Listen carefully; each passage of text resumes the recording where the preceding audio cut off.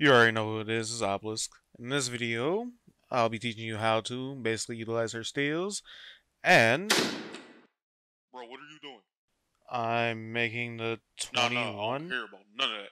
Get back to working on the Nerf Cooler video. Man, roll intro.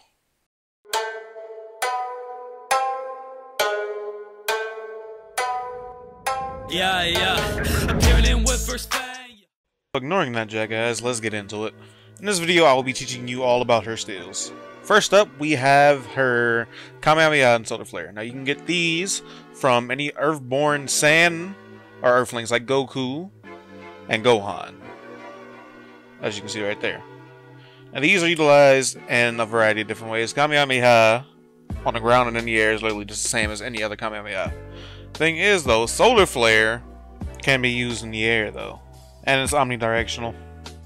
What we have here is a basic use of our Kamehameha and Solar Flare at the beginning of the round. Now, if you can see how much damage this does, yeah, you can see why I like to use it at the beginning of the match. Because it tends to chunk large amounts of health. Moving on. Next up, we have her Yellow Steals, which you can get from basically any sand is not Earth, like an Earthling, considered an Earthling, like Vegeta and his family, or Broly, even Kefla. Her first steal is basically Vegeta's Super Saiyan Vegeta's assist. What was so special about her second steal, though, her grab, is the Oh, fact no. that it works as an anti-air in the air. And it does a lot of damage if you manage to hit it raw. Like so. This is why this GT Goku got obliterated. Got anti-aired by her grab. Next, we have our green steals, which basically you get from any android, any android at all. Yes, even you as well, 21. Now get out of here. What's so great about these though is they're I usually mainly use them for defense, like her barrier. Her barrier is great for catching people that like the super dash a lot and punishing them. Moving on, we have her purple steals. Now, these you can get from any alien, like Kid Buu, his line, Janemba, Jiren, Beerus, stuff like that. What makes these steals so great is the fact that you can use them in a lot of setups. Or you could use her Vanish to basically counter somebody. Now it's time to show you how I like to use her orbs that you get from aliens. Now after you get the dragon rush off, if you throw the orb, it you can knock them out the well, knock your opponent out the corner. And from that, you can get a cross up since it pushes them out.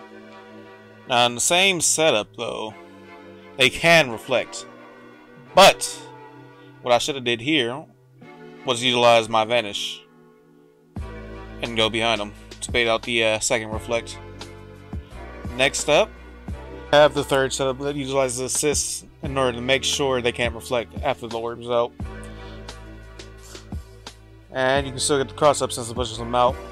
And they decide to block. Well, you saw me go for another grab to get the grounded orb. Moving on, we have some solar flare setups for you. So since I already stole the first solar flare in the air, I'm not able to get another one off. Since I get can't get that off, I can use it again to basically guarantee the solar flare mix up, guarantee a high low from the solar flare. Now they can't do anything to counteract it. If they try to counteract it, they're going to get hit. So from this though, you can get a high or low mix up. You need to go high or you need to go low, and they can't do anything about it. They have to take it. Alright, so thank you for watching this part of the video part of the guide. Uh yeah, and the next one I'll I'll be going over the advanced combos. I've been putting that off for entirely way too long. So uh, yeah.